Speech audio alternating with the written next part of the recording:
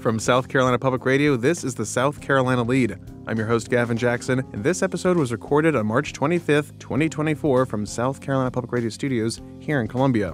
We have a programming note for you right at the top. Alert, alert, programming note. We will have one episode next week due to spring break. That's right. Look for that one episode to drop on Tuesday, and we will be back on our normal schedule following Tuesday and Saturday. So, spring break, folks. But in this episode, we catch up with Bruce Bannister, House Ways and Means Committee chairman, to discuss the $13.2 billion budget that was sent to the Senate the other week, which I know you've heard so much about, but you're going to hear even more about it because that's what's going on at the State House. This is my podcast. You listen to what I say. And we'll also tell you what's going on in the Senate and the House, as well as what's on the governor's schedule for the week. And if you're thinking we're just going to be talking about state budgets, well, you are wrong, folks, because we're going to check out what earmarks are in the federal budget that Senator Lindsey Graham secured recently. And we have a report from Victoria Hansen on North Charleston's new mayor, Reggie Burgess. The Lede loves hearing from everyone. That's why we have a voicemail box set up at 803 563 7169. You can call anytime, day or night, and leave us a message up to three minutes long about what's going on in your world. Like I said, it's spring break. Maybe you're going somewhere fun. Maybe you're taking the Lede on the road with you. Let us know where you are. It's like taking a picture with your school flag in the background or something. If you know Ohio State people, they do the OHIO wherever they are. Uh, instead of doing that, we discourage that at all costs. You can call us and tell us where you are 803 563 7169. And thank you.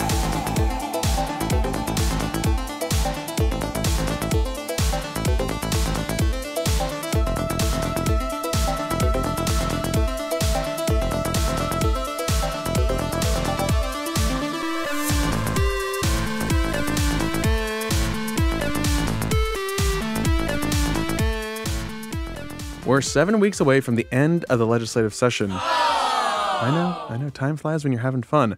And we're in the middle of the session, and we are slowly descending into the final weeks of it. The House passed its $13.2 billion budget, and we've discussed it here before, but I want to bring you my recent chat with House Ways and Means Committee Chairman Bruce Bannister.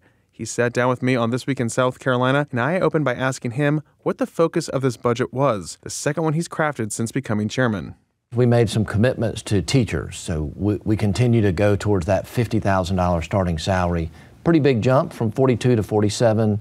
So a starting teacher would have 47,000 as their starting salary. Uh, and then we continue to add raises and additional compensation to teachers at every scale. So a big push to, to keep our teachers, get good people into education. Uh, veterans, we made some commitments to veterans, and, and we honored that in this budget with the, the veterans' homes and, and the other renovations that we're making there. Uh, taxpayers, we said, listen, we're going to reduce your income tax by 0.1% mm-hmm. every year until we hit that 6% income tax number. Uh, and we kept that. That was a $100 million of additional tax relief in this year's budget. Uh, that feels good to say, hey, we're going to do it, and then to follow through with those things. Uh, reserves in South Carolina are as high as they've ever been. Mm-hmm. Another thing we promised, we won't have another 2008 where we cut government services and we close state offices. Uh, so we have the reserves, we feel like, to weather that kind of economic downturn so taxpayers won't get hit with they, they can't go to the DMV on Thursday, Friday, Saturday, or Sunday. We have limited hours. So we're hopeful that commitment to saving for that rainy day was a good thing. We got the lowest debt we've ever had in the history of South Carolina. We can borrow up to 5%, and we're at like 0.2% of yeah. our, our general fund revenue. So we have a lot of flexibility if we needed to make a substantial um, investments in South Carolina or that opportunity presented itself, we have a lot of room with our, our debt ceiling to, to do that and the revenues there to cover those debt payments. We're not going to borrow money anytime soon. No. But it's nice to know you have that, what I'll call an equity line. If, if, if there was something that we really needed to invest in, we'd have the money to do that. Mm-hmm. Uh, another thing that kind of the opportunity presented itself, the HEX funds, when Act 3 exemption. Yeah, when Act 388 passed, we said, hey, if there's ever a surplus uh, on the one penny sales tax, mm-hmm. we'll give that back to the taxpayer on property tax relief. Uh, and so we kind of honored that with the, the 500 million additional owner occupied property tax relief uh, I understand the Senate was talking about it today. I'm sure it will look different at the end of the day. Uh, but we, we believe strongly that that money should go back to taxpayers, which is what we promised them. And then, in addition to teacher pay uh, increases, that that is quite a substantial jump. Are you going to get to that fifty thousand dollars next year or shortly thereafter? So if what do the you think? if the economy continues to be on fire like it has over the past several years, Mm-hmm. then we're we're looking at next year being the year that we could we'll be a year early from our commitment originally, but if we hit 50 next year, we're certainly going to try to do that. Do you think you go beyond that at that point? I mean, it's still fifty thousand dollars. It's still a red hot labor market. It's still hard to keep and retain teachers. Is it just become more of a, So- a, you know cost of living increase more at that point? So we, we won't quit on our commitment to public education, and we're going to uh, like reassess once we get to that 50,000. Uh, that's sort of what all the experts said. We were so low and so far behind the Southeast average. 50 was sort of the number they said. If you want people to commit to the education field and they want to be professional teachers where they feel like they're being honored for that sacrifice and doing what they do, mm-hmm. 50 is the number you got to get to if you want those people to stay. And so it, it that's sort of our goal. We'll reassess once we once we get there, and, and maybe the next thing teachers need is something else that they want us to invest in. So we'll we'll look at that. And then there's also money in your budget for state employee pay raises as well as um, pay raises for SLED and law enforcement as well, right? That's right. That's right. Gotcha. So we, we continue our commitment to law enforcement with pay raises and making sure they have the facilities and the, the equipment they need. And then state employees, we understand the, the lowest paid state employees get hit the hardest with changes in the economy, inflation, other things that hit that disposable income that they don't have. Mm-hmm. So we try to back in so they get at least that minimum raise. And then in our budget, we did a, a 1.5% for everyone else above. It's either $1,000 or 1.5 percent raise, whichever is greater. Uh, but Chairman, tell me more about the tax relief in this House budget proposal. I was watching the Senate subcommittee hearing about this, and there there might be some concern. Well, I guess it was the Senate Finance Committee where they're hearing uh, about the current revenue state. And is there any concern about what this kind of tax relief would do for homeowners one year versus the next year not having that that money coming to them in terms of rebates? Sure, and the, the biggest complaints we've heard is from the counties who don't want that property tax bill to go way down Yeah. for those owner occupied homes and then go back up when the money's not there the following year. Yeah. And I understand the Senate has some legitimate concerns about homeowners whose escrow and their mortgages would change year to year based on what last year's taxes were. So they'd get a big refund one year, then they would withhold too little and, and then have to pony up the next year to catch up those their escrows. And so they, they have a legitimate concern that people may be caught off guard the second year when that tax reduction isn't there. Mm-hmm. But we're looking at that. I mean, they, they have a legitimate point. We'll, that'll be part of the conference committee, and maybe H2 will will take a closer look at what would be a sustainable annual property tax relief that we could fund out of those surplus revenues. Uh, less than three minutes left. I want to ask you about just how revenues are doing. You had less recurring revenue this year, but you still have uh, requests totaling $1.7 billion for recurring money, $3 billion for non recurring. How do you judge that, and what's the situation with revenues right now? Are they stabilizing after having such sugar highs in our economy? So we, we did sort of hit a, a strange point with COVID. We had a continuing resolution for that year, so we didn't spend any of the additional recurring or non recurring dollars.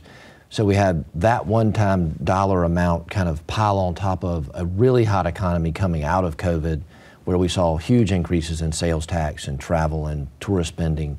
Uh, and South Carolina was one of those early states that was open and generating revenue before everyone else along with the ARPA relief and the other federal funds that came down. So we had sort of a, a meeting of all the good things, a lot of extra dollars, and now we're seeing the, the economy's not slowing down in terms of it looks like it's going to go negative, but the amount of new dollars is coming back to a normal level. So we're sort of seeing it go back to what we would consider normal, sustainable growth. And Chairman, with about 30 seconds left, tell me about working with the Senate. The Senate now has this budget in the Finance Committee. They're going to debate it in the middle of April. Uh, do you see any issues in the future being a little contentious? You guys seem like things might be a little bit better this year than last year. How do you see it going forward? in every negotiation, there's two sides. We will find a middle ground. We will fulfill our constitutional duty to pass a, a balanced budget at the end of the day, funding state government. Uh, what that looks like and where the rub is, we'll find out shortly. You can catch that full interview on youtube.com slash South Carolina ETV, along with all of our great stories and content and so much more. That's where it all lives.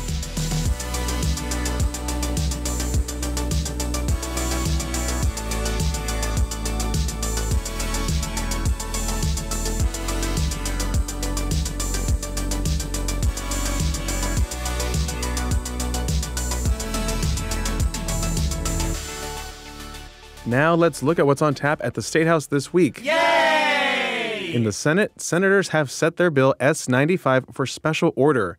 This bill deals with making the Comptroller General, the state's chief accountant, an appointed position by the governor with confirmation by the Senate instead of being popularly elected as it currently is.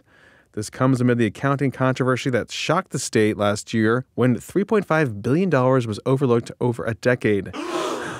No money was missing. Phew. I know, I know. But the oversight occurred when the state switched accounting systems. Mm-hmm. Long serving Comptroller General Richard Eckstrom resigned as a result of the oversight. The Senate Finance Committee continues to hold budget subcommittee meetings as well.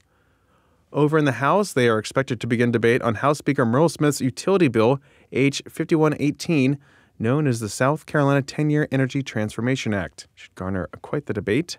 The governor will chair the State Fiscal Accountability Authority, or SFA, meeting Tuesday morning to approve major spending projects that were previously approved by the Joint Bond Review Committee.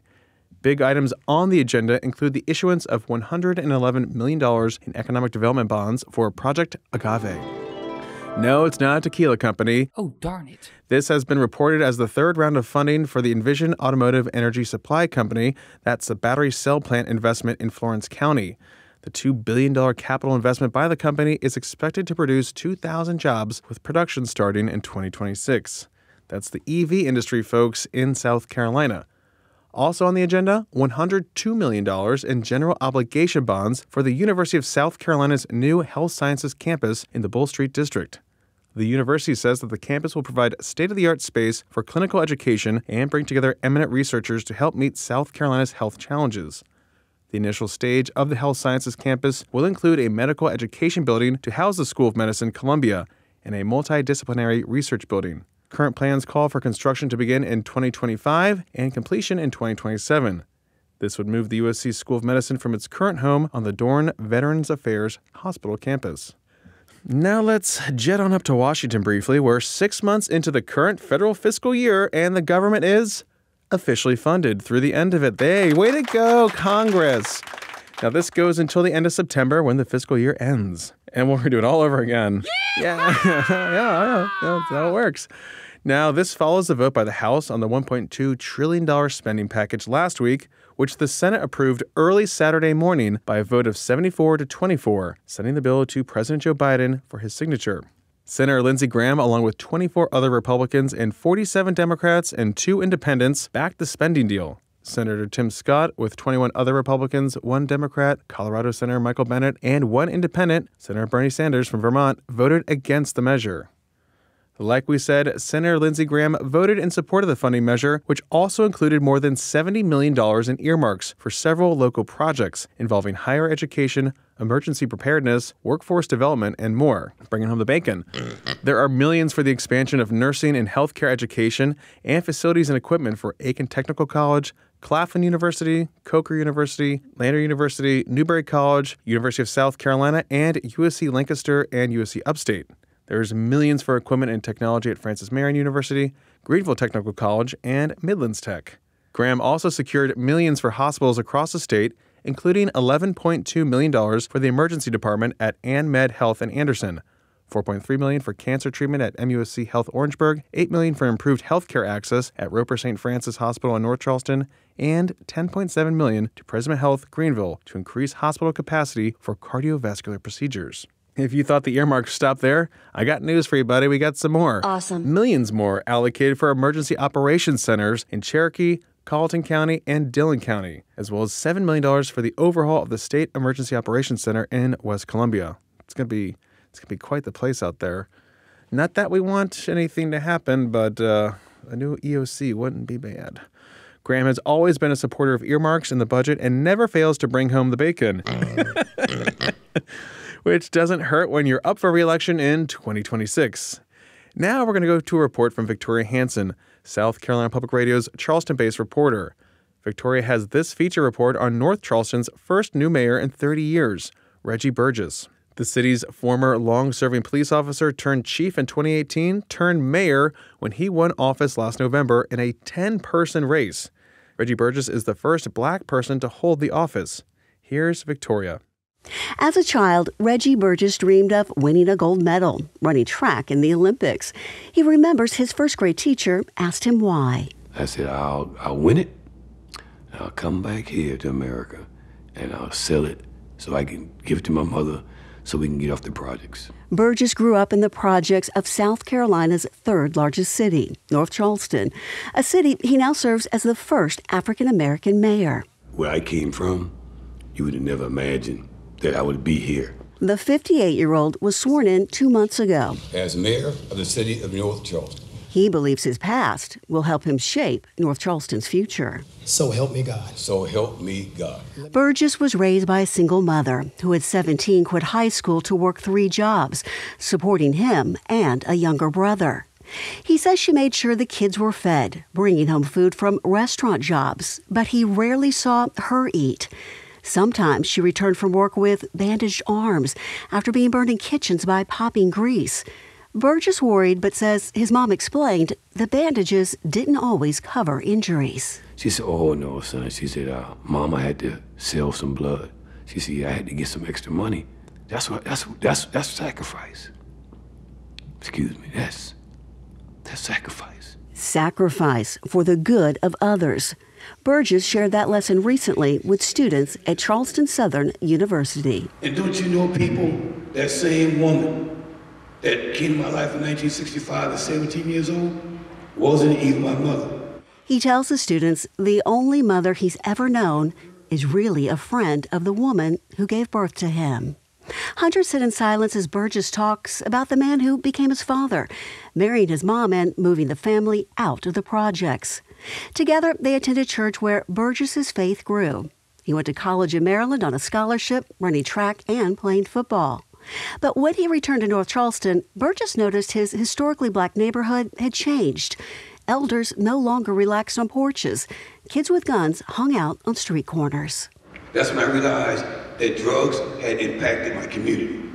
So I said to myself, what can I do? How can I make things better?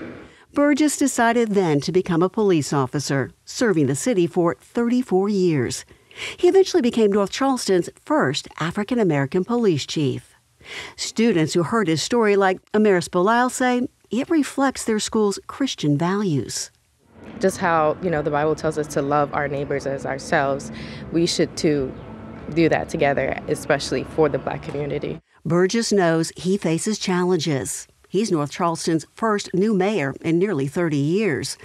Already, there are questions about who he's hired.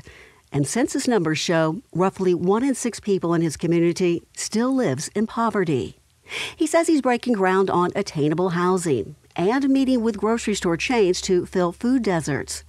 But the 2015 shooting death of an unarmed man, Walter Scott, at the hands of a former officer, still lingers like a haze over the city. Every human being ha- have biases. The first thing we need to do is acknowledge that. Burgess says as police chief, he worked to address those biases. He invited Scott's brother to talk yearly to police recruits. Burgess still walks the streets he once patrolled. I want to get to that place where there's no more hurt. We don't have to talk about affordable housing, attainable housing. Nobody's looking at the skin colors and gender. Burgess believes it can be achieved by recognizing and serving the needs of others. Thanks for that report, Victoria. You can find that and more on southcarolinapublicradio.org. And while you're there, hit that donate button, folks. Now to the wind down. We have a special guest. Little tease.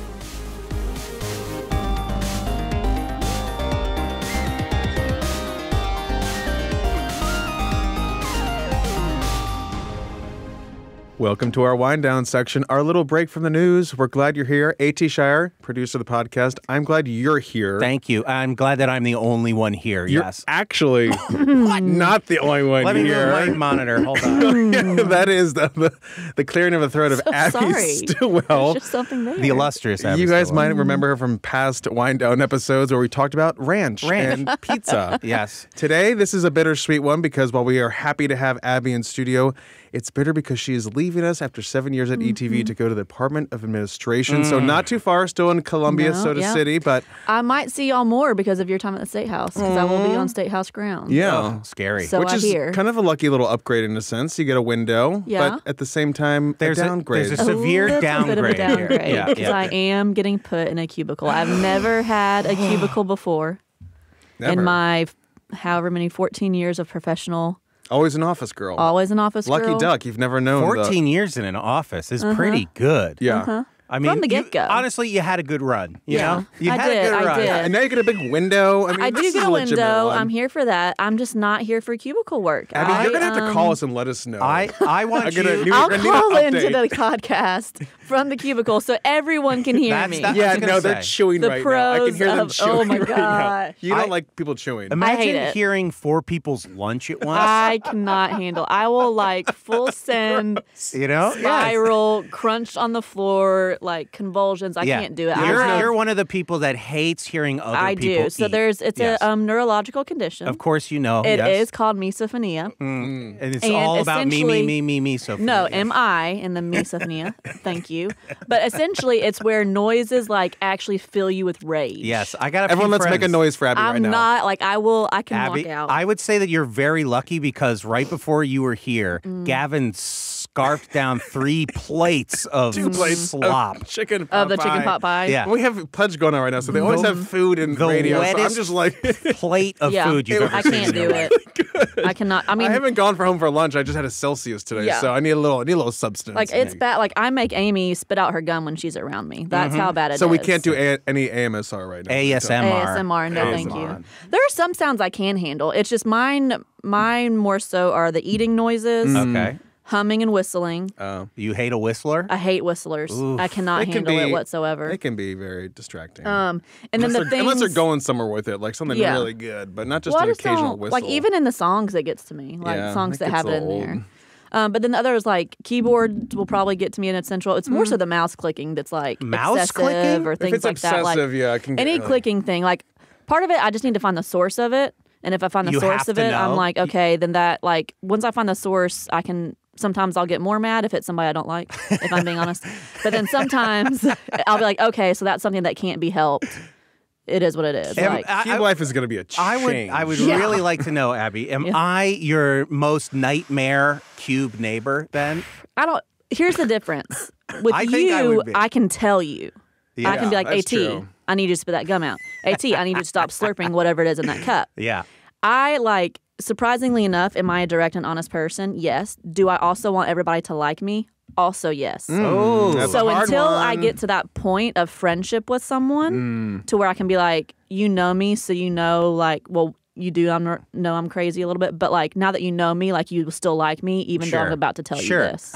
So you have to befriend people just so you can tell. so them I have to get to a certain level, or and I think we are at that level. At I also Mm-hmm. think you're that type of person that is more approachable in general. Oh, to where I could tell you that A lot of and interper- not you know. interpersonal communications going on here. Yeah, And that's well, I am a to hear. communications professional, Abby, I'm going to miss a your sparkling attitude every day, but also the, po- all- the ray of positivity Yes. that I bring everywhere. I which I. I I also enjoy in a workplace because Mm, yeah. I'm also a sparkling positive person. But Mm-hmm. the candy that you would keep in your office to facilitate such friendships, so then you could tell Sometimes people to your stop lunch. the candy Sometimes Gavin's or lunch. Oh, yeah, that would go- Gavin's intrusion of my full snack drawer, Yes. which he did Saved me so graciously times. replenish once over the seven years I've been here. like multiple Clif Bars, and one day I'm like, "Oh look, I'm at Walmart. Yes. I bought like the mini Clif Bars, like the Oh, six pack. yeah. I'm like, Abby, I, I should hit her back. I've stolen these. I've stolen these. I've stolen these like ten times this amount, but here, let me I'm feel good about you. myself. I would notice. This is the I Gavin would notice what Jackson snacks. experience. Yeah. Yeah. I would notice what snacks had been in there a little bit longer than the others.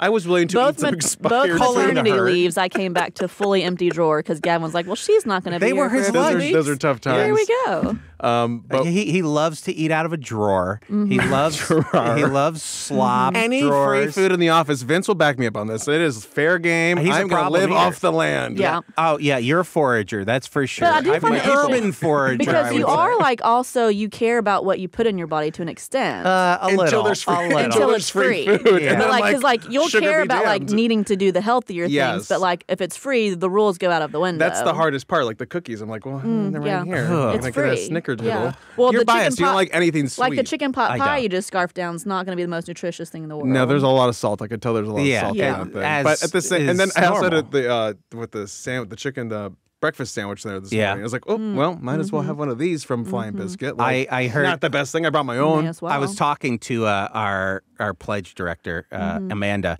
and she said that Gavin, you're going to be on pledge Tomorrow. Tuesday, Tuesday. night. Tuesday, if you're yeah. listening to this day Day- of, day Gavin tonight, will be yeah. on. I'll be on Wednesday. But I'll be she, eating the whole time. She said that Maybe you'll say a word. don't. she was like, I Please don't do it on the I radio. befriended Gavin by giving him a breakfast sandwich. I was like, oh. Did he eat it out of your hand? and he, Gavin is truly like a wild animal. That if you if if you did the ET But he'll keep Reese's coming thing, back. if you laid out the Reese's pieces, you'd get them eventually. You mm-hmm. get- it wouldn't be hard. Mm-hmm. How'd we flip him? Oh, he's just starving. Oh yeah, he was had so candy. hungry. But you're not starving. You just do it because it's free. Like if it's free, you would a, still it's eat a, it. It's a natural defense mechanism. Yeah, it's known by my people and my brothers. When you grow with two a brothers, lot to That's and unpack. food is always It's a, scarce. it's, it's a lot you just to see me in high school in the in the mm-hmm. lunchroom. You gonna finish those fries? Gonna Oh, finish those God. fries? What do those taste like? I had a friend like that. What do those taste like? no, you have to ask Didn't like matter. leading questions that's not as obvious Yeah. that you're asking for it, but like I would wait till the very end, Yeah. and then I'm like, okay, so I see that the napkins are on the plate, so the, chi- the chicken So- tenders well, are see, still mine's free. different. My husband knows because I have attachment to French fries, Oh, and so he knows. That I'm if glad he- you can admit that. Thank if you he for admitting that. That's anything so big fried, like Thank you for spilling. bring me. Um, Kudos, Mama, for sharing. you have to ask me at the beginning because as it starts to dwindling, I Uh-huh. get emotional attachment Well, to the ones that are remaining. And yeah, you're you're. so if you're waiting yeah. till the end, you're chancing it. Yeah. So if you really want one, you have to ask at the initial get go. do it at the beginning when there's ample supply, Yeah. not when I'm. Scared. Not I like, love hey, learning about these things out. on your last day here, Uh-huh. Abby. Well, with all that in mind, Gavin, thank you so much. But Abby, sadly, we must close this, Mm-hmm. okay? Yeah. So thank you for, I honor you, I treasure Applause. you. Mhm, Thank, you thank for your years of Thank service you. in these trenches Yeah. that we call ETV, the mines, toiling in the mines. candy lined mines. Exactly. Yes. But at least they're in office. Minds. Um, Abby, yes, thank, thank you for all that you've done. And also, please call us, 803 563 7169, and let us know what's new with you over at Department of Admin and how things are going. And honestly, I think with your, I can say disorder, that they might Mm, yeah. upgrade you to an well, office. if I really play into it a lot, and like, and or if they really, you know, really make me mad initially, because it is a neurological thing Oh, yeah. that makes me angry. So Yes. maybe my rage can scare them into getting me into an I office. Well, just I'm- think you, as first day in there, go, there's a podcast you can listen to about this. So anyway, Gavin, close it. well, yeah. Say the credit. Before I get into a rage, I'll close it all out. And again, you can leave us a message like Abby will in the future at 803 563 7169. You can always leave us a review on Apple Podcasts and show us your appreciation by staying up to date with the latest news on SCTV.org and South Carolina SouthCarolinaPublicRadio.org. And don't forget to support your local newspapers. For the South Carolina Lede, I'm Gavin Jackson. Be well, South Carolina. How's the pot pie? Oh, I don't think I should have any more pot pie. I don't think that chicken was cooked.